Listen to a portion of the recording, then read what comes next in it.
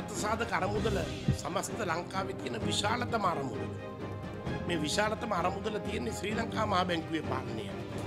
මේ වගේ බැංකු නොවන කාර්යයන් කිසිවක් කරන්න බෑ ඒවා එළියට අරන් මේ තියෙන කෝටි ප්‍රකෝටි සංඛ්‍යාත මුදල් ප්‍රමාණය දාදු කෙලියකට යොදා ගැනීම සඳහා තමයි මේ සූදානම් වෙන්නේ.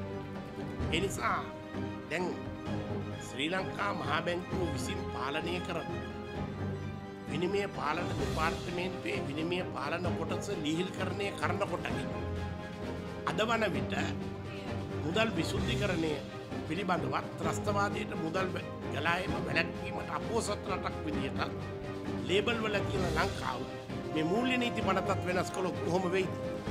මුළු ලංකාවෙම සියලුම මුදල් නෝට්ටු අච්චු ගැසීම සඳහා ඒකාධිකාරී බලය තියෙන මේ ආයතනය සම්පූර්ණයෙන් විනාශ වෙනවා.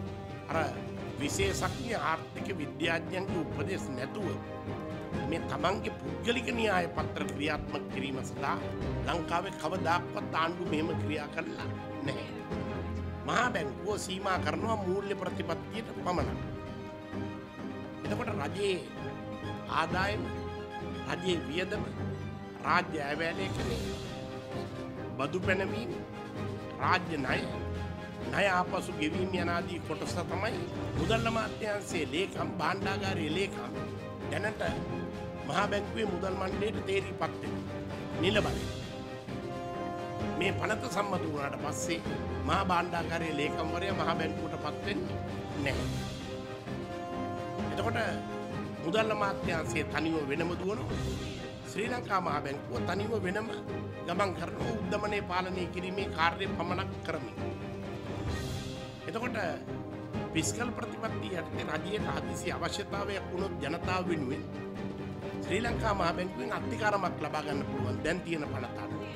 ඒකට පොඩි ගෙවන්නේ මේ වෙනස කළාට පස්සේ මහා බැංකුවෙන් මේ දැන් එනවා සමස්ත ශ්‍රී ලංකා මහා බැංකුවේ සමස්ත ක්‍රමවේදේ ඉතිහාසයේ පුරාම පැවති සම්පූර්ණ ක්‍රමවේදී ඉවත් කරලා බැංකු උද කලා කල්ලා යාවාරංකරුවන්ට අවශ්‍ය ලෙස මේක ශේම භූමියක් බවට මූල්‍ය ක්‍රමය පරිවර්තනය කරන්න අවශ්‍ය විධිවිධාන ඇතුළත් මූල්‍ය නීති පනත සංශෝධනය කිරීම සඳහා වෙන පනත් කෙටු පත්මන් මේ ගෙනහල්ල විපක්ෂ නායකතුමා ඉතා පැහැදිලිව මාධ්‍ය හමුවක් පවත්තල කීවා.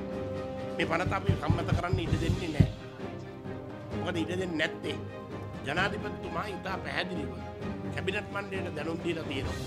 ශ්‍රී ලංකා මහා බැංකුවේ පැවැත්ම හා සමස්ත මුදල් ක්‍රමය බැංකු ක්‍රමය ණය ක්‍රමය පාලනය කරන්න තියෙන බලතල වෙනස් කරන්න මේ මහා මුදල් නීති පනත වෙනස් කිරීම ආර්ථික විද්‍යාඥයන් ප්‍රමුඛ විශේෂඥ කමිටුවකින් තොරව නොකළ යුතුයි කියලා ජනාධිපතිතුමා බොහොම පැහැදිලිව ලිඛිතව උපදෙස් දීලා තියෙනවා. එතකොට ජනාධිපතිතුමාගේ විධිවිධාන තුට්ටුවකටවත් මායින් නොකොට සමස්ත මුදල් ක්‍රමේම කඩාගෙන වෙන්නේ. මේ පනත සම්මත කරන්න ගියොත් අපිට සිද්ධ වෙනවා.